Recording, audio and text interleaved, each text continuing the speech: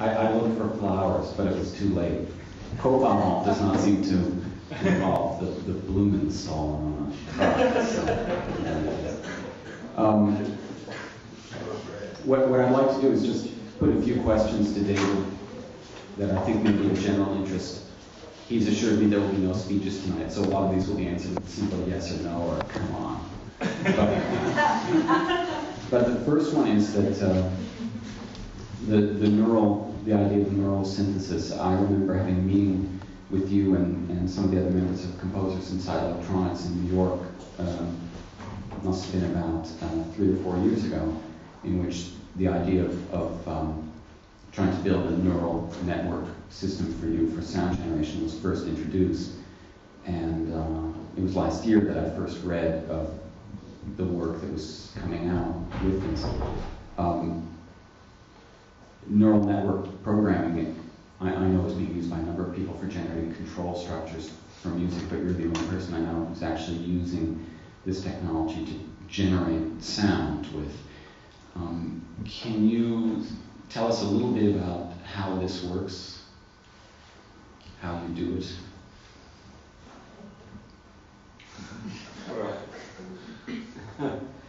It isn't easy to uh, uh, get a precise uh, uh picture of, of, uh, what's happening. The uh, this piece is the first. Uh, I, I'm expecting to go on with it. Uh, actually, uh, I did another piece which I, I, gave to the to the Cunningham Dance uh, Company. That that was the very first one, and uh, then I that piece was entitled uh, Neural Network Plus. And I decided that, uh, that, that since I had more to do, to uh, accomplish with the same equipment, uh, that I would make the next series of compositions with a different title. So. Uh, uh, Nick tells me that this is uh, neural synthesis number eight. But, but my that, that was the, uh, the, the number you gave me. Yes, yes, but my engineer told, tells me it's number 12.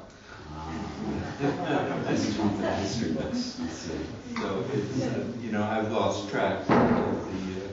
Uh, uh, it, it, always uh, comes out very differently, and it's Actually, it's due to the, the manner of, uh, of activating the electronics.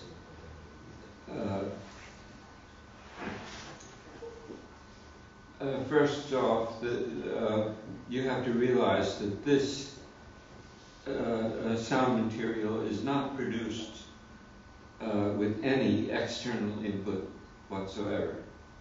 Nothing is exciting uh, the, the, the, circuits in, into, into action. It, it's all done with, with a uh, and, uh, feedback uh, network, which is very complex. And uh, it isn't, well, it's, in a word, it isn't very precise. Uh, uh, because the, the, the neural uh, technology is uh, analog. It, it isn't uh, uh, digital. If, if, you, if it were completely digital, you could, you could expect the same results the next day. But it, it isn't. it isn't like that at all. It, it's that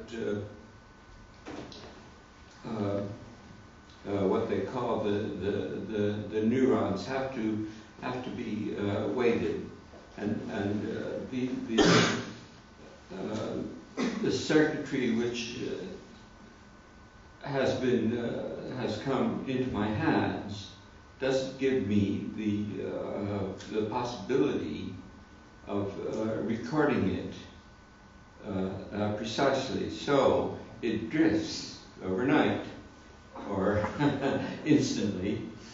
Of course, it, it could can drift uh, overnight. So the, the, the performance of it is, is like a, a continuous trying to excite the, the neurons uh, uh, to speak. And uh, so, uh, um, in, a nutshell, this, this uh, piece depends upon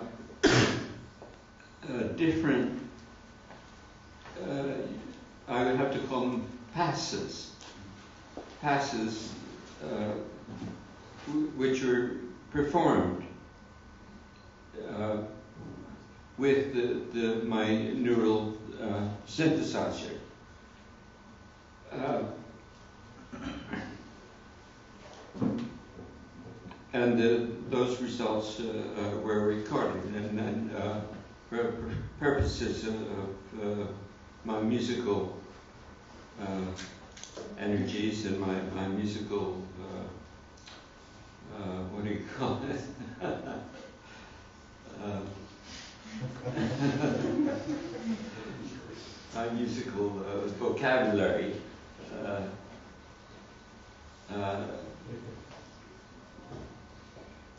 I further uh, uh, modified the, the, signals which I obtained from the synthesizer. but uh, I don't do very uh, very much uh, in that that respect. Uh, I very soon, after working with it, I realized that I didn't have to do very much. The main problem was to excite the, the neurons to, uh, to speak. And, uh, well, I'm now in a very different situation. Uh, and uh, uh, because uh, the, the Intel Corporation was pleased by the fact that I had used this, this to to make a, a product that uh, uh, was of interest uh, uh, to the company. And they were pleased enough uh, so that they gave me the, the, the processor which weights the, the, the, chips. So now I'm in a, in a, in a situation where I can record what's been done and uh, uh, I can put it on, on, on a computer and, and I'll, I'll, know that, that uh, one, one pass, one, one attempt to produce uh, signals is the result of a, of a specific uh, set of conditions. Um, and so far, I, I, haven't been able to do that, but uh, my position was that I didn't really need to do need to do that because uh, it's very uh, well. It's a completely analog technology, and, and there's no input. There's no input. The inputs are the the the, uh, the outputs. Uh, so it, it uh, how would you describe it? It gets hot? Uh, that's, yeah, that's, it gets hot. It gets hot and bothered, you say. It's, it's exactly it. you, you understand. Well, I was, I was going to pull out a, a, very dry word of, of unstable, but I think it's hot and bothered. It's completely. yeah. But I think, I, from my um, experience working with you, I think that instability is one of the primary motivating forces in a lot of the pieces of music that you do. That um, the networks that you create, even before the, the incredibly dense feedback network of the neural network, were based on systems that were in a very unstable state. And, and, and relatively small changes on, on the part of the performer would introduce cataclysmic changes in the, in the overall uh, texture of sound, I think.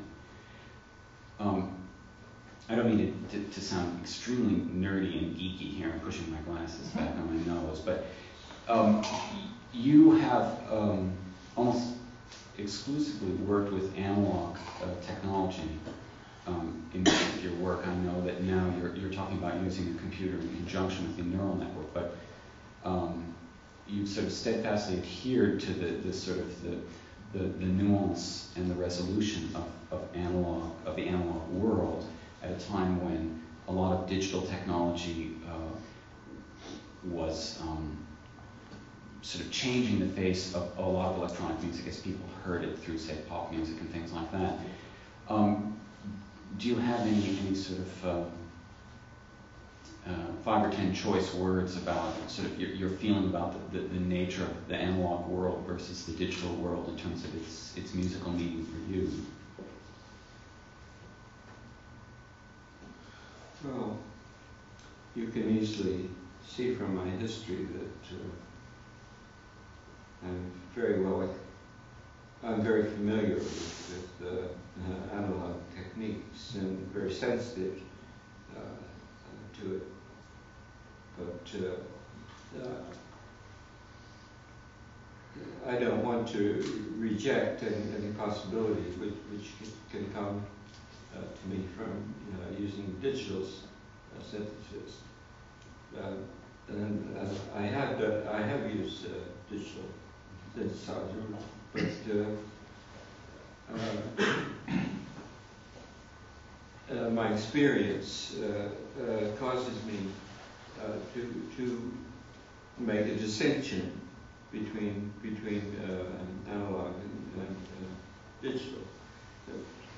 The the uh, the thing about this uh, the technology which is, is used in uh, uh, in this uh, uh neural network, well, neural net network technology is it's so vast in terms of number that that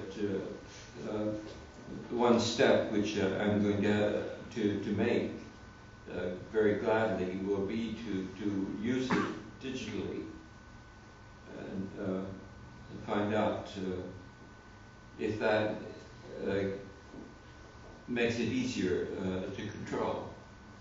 And I think it will. At least it will be more predictable.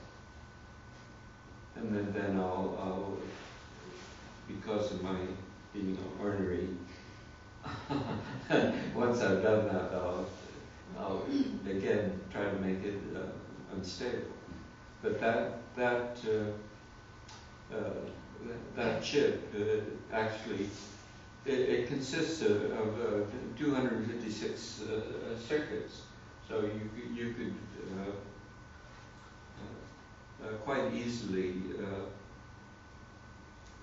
well, well, what's the word?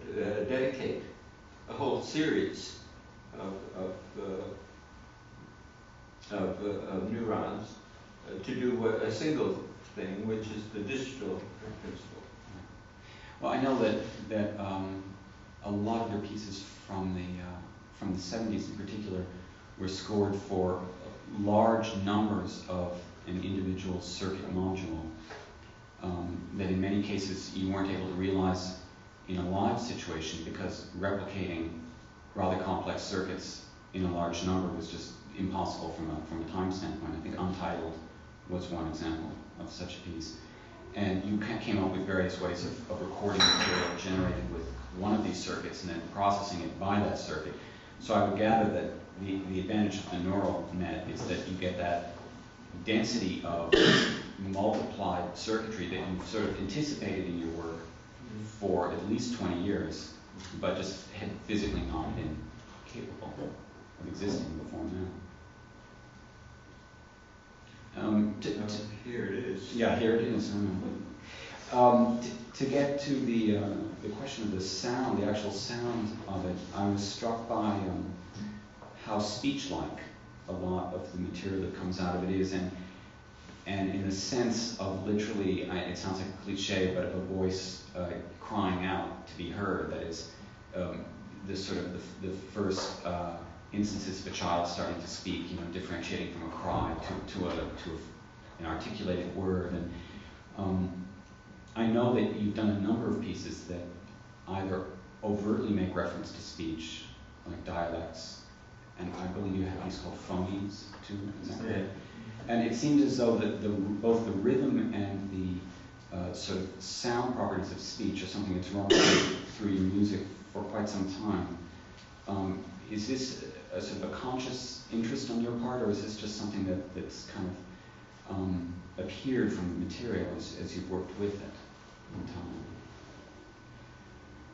Uh, well, uh,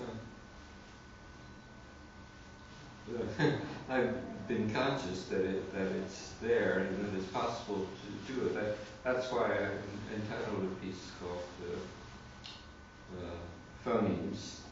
That was one of the, the first one, and then then uh, uh, another one. Uh, there was an intermediary which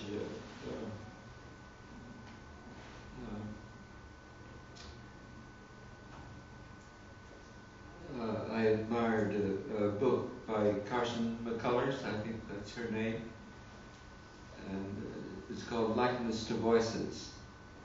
And I, I, I entitled a piece called Likeness to Voices, but then I, I put a sub subtitle, Dialects. and that's how that, that piece uh, uh, got started. But uh, uh when I, I did it, see, I don't know how to, recover the, um, the process uh, well enough to uh, describe it. I think it was uh, a process of uh, going between uh, speech and uh, discrete uh, discrete tones. I guess I would have to describe it like that, and vice versa. And that's why I called uh, called it uh, dialects because according to the the uh, the way that you uh, imagine uh, the sound. I'm, I'm saying that uh, I'm listening to the sound, and it, it the next sound I, I, I produce because the, the previous one reminds me of something either resembling speech or going uh, toward music and uh, I, I, tried to uh, uh, come up with a title which would uh, express that. So it, turned out to be uh, dialects because I, I realized it, it isn't speech. It's not, not speech, it's something uh, in between.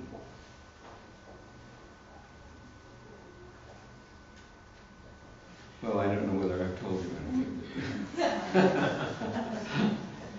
Um, uh, one other thing I was reminded of tonight, which I'm reminded of actually every time we get together and have to play on the same program, because it's, it's a point you, you, you've been waggling your finger at me about for many years now, which has to do with time, time durations. That um, uh, you work with, with very large scale time forms. Uh, that are rather unusual in electronic music these days. I think that there is a tendency towards a shorter and shorter discrete time among a lot of people. And I won't name names. Um, but you you work with, uh, with very long structures. I mean, I think I think we were talking yesterday about how 60 minutes is sort of like a like a starting point for a lot of your pieces. That that's it, it's it's almost as if um, the material gets warmed up in the course of, of around a 60 minute period. They can go longer, but to cut them down much shorter very often uh, is just not possible for the way you work. Can you say anything about the, the way you think of structuring time in, in those in those large blocks and sort of um, how you approach manipulating or not manipulating sound over periods of time that are, that are that long? Well, for me, there's uh, there isn't any. There's no time. There's just experience. And experience takes the time uh, that it takes. So, uh, if you if you tell me uh, in advance what length of time that I need to encompass, I begin begin to think about it because uh, I'm, I'm uh, you know a human being.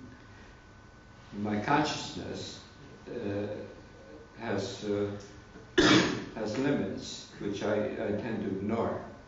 But it, that's the, the fact that, that uh, I think about uh, performing for, for one hour very differently than I think about performing uh, for an hour and a half, uh, or for, for two hours, or as I have done. Uh, I believe in Amsterdam, I performed for three hours. Didn't I do that with uh, my piece, uh, Rainforest, which was installed? That, that piece is designed to have no time. Uh, it can last uh, uh, any length of time. That itself is a different is a different circumstance, and if you imagine yourself in, into a timeless uh, situation, and, and, you, you, you realize that uh, it's all a, a question of uh, attention and, and how, to keep listening to yourself. If, if, if I don't listen to myself, you won't hear any differences. but uh, that is uh, the differences that you hear will be uh, uh, more or less uh, environmental, but it, they, they won't be differences that, that I, I myself have, have produced. I mean, rain, rainforest is uh, is a good example because I think that's a piece that's been misunderstood by a lot of people as being an installation. Um, rather than a performance because the durations are so long um, and because it's, it's very frequently been presented in museums just because of the size of space it's needed to do it. But um, I mean, it's clear from, from working within the structure of that that uh, it's a performed work. It doesn't exist as a, as a static object or an object with a kind of a, uh, a predetermined or a random uh, time framework associated with it.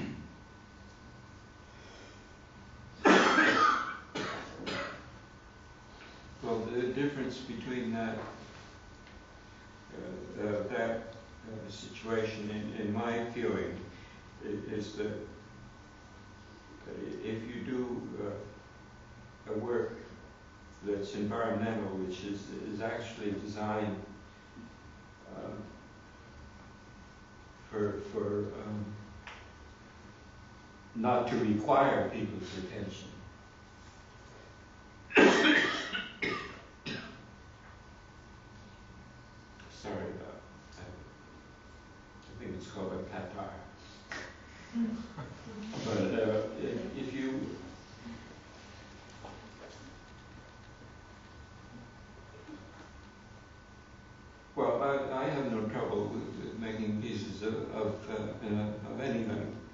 Some of my pieces are, are very short.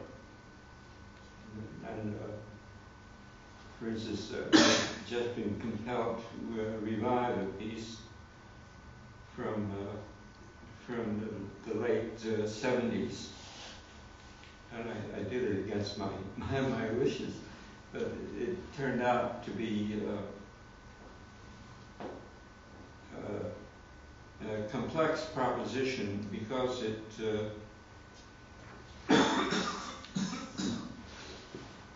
I, I was not able I was not able to uh, uh, perform the piece as I I conceived it, but uh, uh, the, the piece was called uh, the dance was called Sound Dance, and I had a piece which I entitled Tone Burst, which is very particular because it's um, it was uh, centered around a tone burst gen- generator, which I uh, uh, soldered myself together, and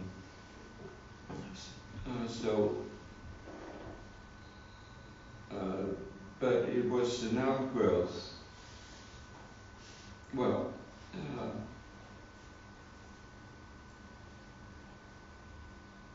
uh, that that was the the last piece in in a chain. The previous piece, which I did, was is the work that, that Nick Collins remembers as uh, untitled. And so when Merce Cunningham asked me to revive this composition, I completely forgotten that, that I had to pay attention to the title.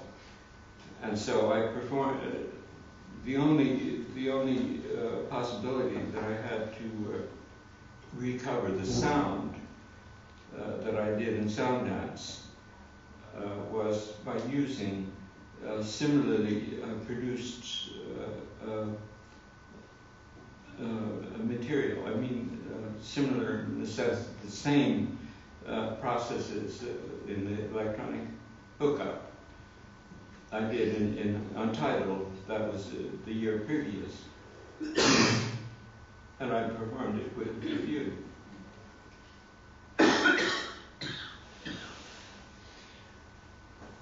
I'll just ask one last question because I, I know it's getting to be a matter of life and death here which is um, perhaps, perhaps appropriate. Uh, it's the question of, of, loudspeakers, which is something I think we've talked about on many, many occasions. But um, uh, th- there is some mysterious property in your music which, which leads one to uh, view the loudspeaker in a rather different, different way than normal. And uh, uh, there were several moments tonight where that, that speaker in particular came out uh, as a soloist in, in, a very overt way, and it, it had a very uh, sort of acoustic acoustic presence. It no longer seemed like a conduit for sound that was being produced somewhere else and being played back through there, but it, it was literally speaking.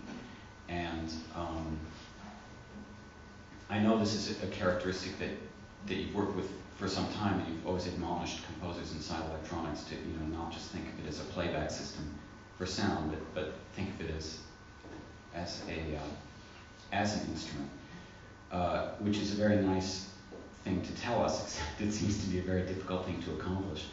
How uh, how is it that you, you, you get that character out of electronic music where it doesn't seem as though it's some sort of playback of sound, but it does seem as though the speaker is actually a, almost as if it were the, the speaker that was a live musician.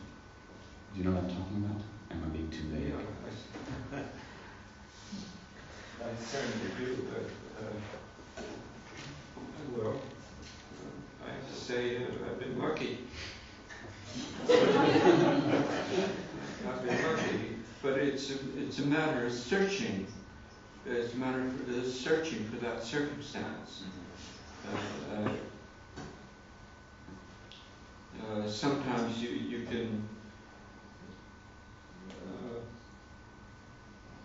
you know, uh, you could uh, record a piece and then uh, perform it and imitate, and imitate live pr- procedures. But I, I, don't do that because, well, normally I, I, don't do it, but upon occasion I, I have resorted to that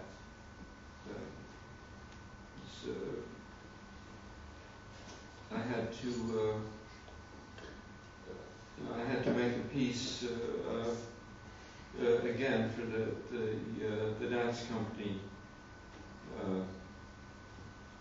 there was it had to be very quiet, and, and so I, I thought in terms of, of uh, uh, subtraction. Uh,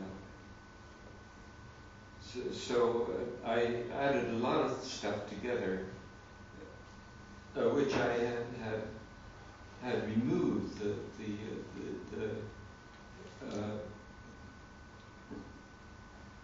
uh, the, like the uh, uh, the things which uh, which could sound sound like uh, like an instrument. I removed it to the point that it, it, it would only suggest that, that it was there in the distance.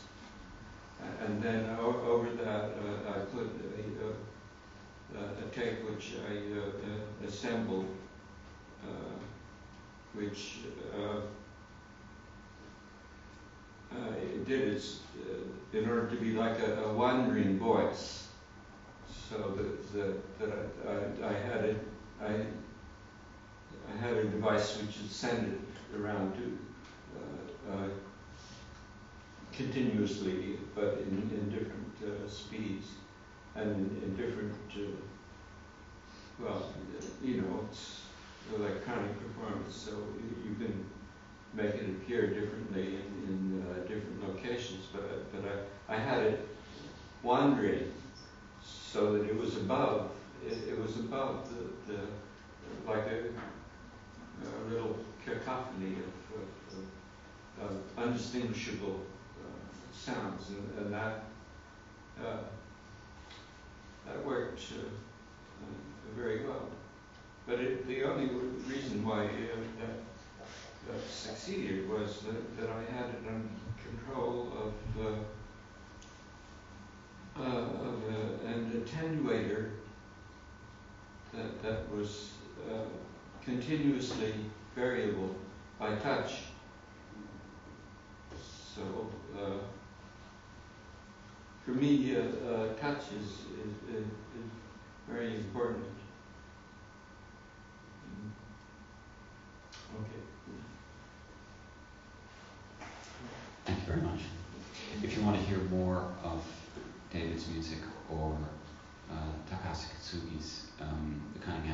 coming to town this next week. We'll be at the uh, Music Theater for about 10 days, I believe.